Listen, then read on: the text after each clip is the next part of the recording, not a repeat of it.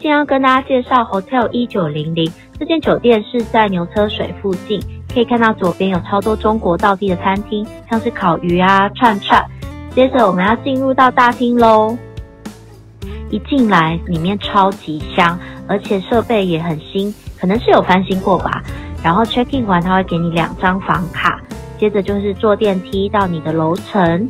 这次我订到的是双人房。一个晚上大约是三千三到三千五之间，所以平均一个人大约是一千七到一千八。对于新加坡的住宿，超级便宜、超级划算的。这间的话是无窗的双人房型，那一进门右边的话呢，就是有两个衣架可以挂衣服，然后还有一个很大的全身镜。那其实左边呢也有很大的一个全身镜，拉门的话就是一个更大片的全身镜。那其实拉门进去就是卫浴的空间，这边的话是洗澡的。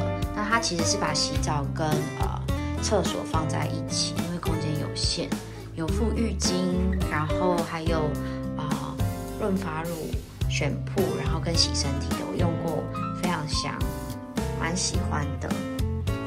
再来的话，我们就是到琉璃台，哎，不是琉璃台，是洗手台的部分，它是把它分开。还有分副牙刷，然后呃，在镜子后面是吹风机，对，吹风机。这边的话呢，就是有一个简单的呃茶包，然后咖啡，还有附两瓶水。对，每天他们都会补水，然后有冰箱，啊，垃圾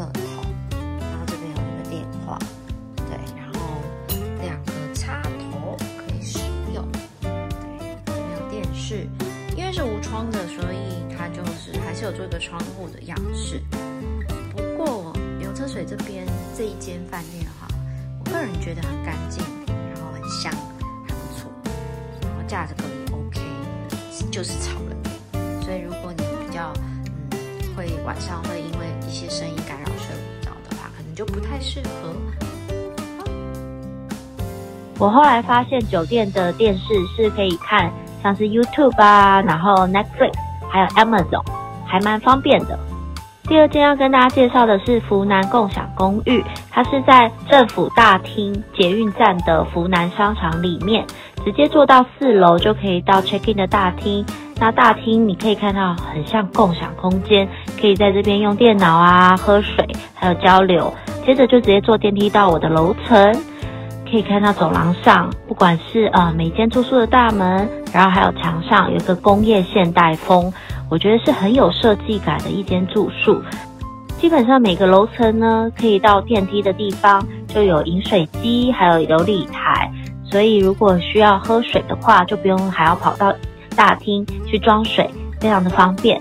那进入到里面的话，双人房就是上下两铺。然后还有个独立的卫浴，双人房的话，一个晚上平均大概是三千五左右，也非常划算。最后的话，要跟大家介绍在新加坡的青年旅馆，因为新加坡的住宿真的非常贵，所以如果你的预算只有一两千，然后你又只有一个人的话，青年旅馆就会是很好的选择。这间 King 的青年旅馆是在克拉码头捷运站附近，所以交通也非常的方便。那里面也是有电梯或者是楼梯，所以不用担心要自己搬行李。因为是青年旅馆，所以就没有独立的卫浴。然后像是鞋子啊，还有呃上厕所都要到房间外面。可以选择全部都是女生或者男生或者是混住。那一个个胶囊里面的话就是长这个样子。每个床位都附一个置物柜，可以放下很大的行李。那这边是浴室的部分。这三个都是我在新加坡有住过的旅馆，希望对大家有帮助。